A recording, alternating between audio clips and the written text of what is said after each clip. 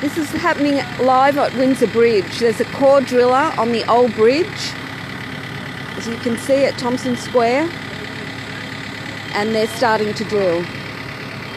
Historic bridge.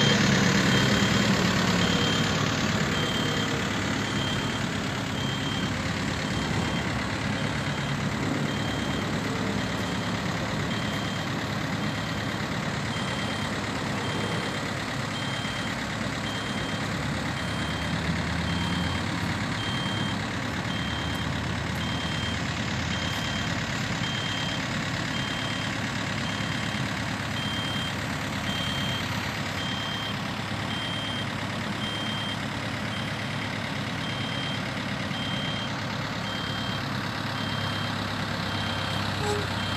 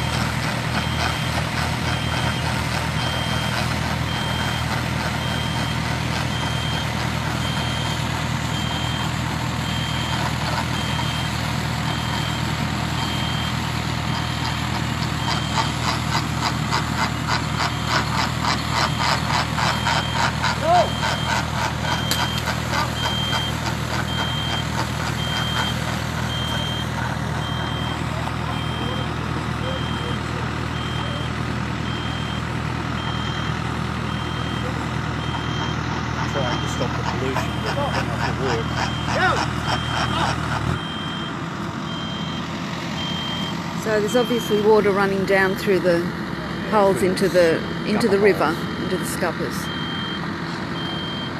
They're trying to stop it up.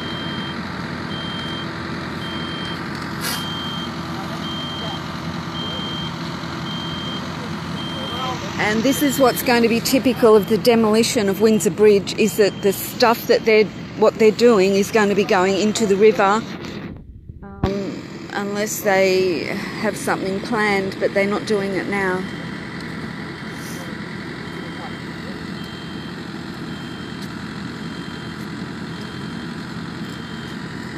So this is the beginning of the demolition of Windsor Bridge.